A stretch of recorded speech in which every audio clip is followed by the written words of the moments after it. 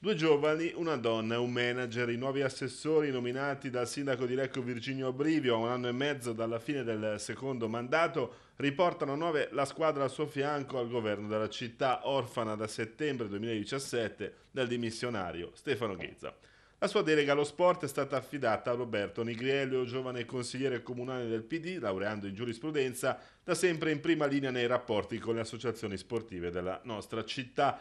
All'istruzione Brivio ha promosso Clara Fusi, tecnico dell'istituto La Nostra Famiglia, già in consiglio comunale nei banchi del PD. L'imprenditore Lorenzo Goretti sostituirà al bilancio Anna Mazzoleni, fondatore della GR Informatica, classe 1952. Goretti era candidato alle ultime elezioni per la lista civica Appello per Lecco. Nessun esponente della lista Vivere Lecco, quarta gamba della coalizione che nel 2015 portò a brivio alla vittoria, sostituirà Ezio Venturini. La delega all'ambiente ora in capo Alessio Dossi, trentenne già presidente provinciale di Lega Ambiente senza una tessera di partito in tasca.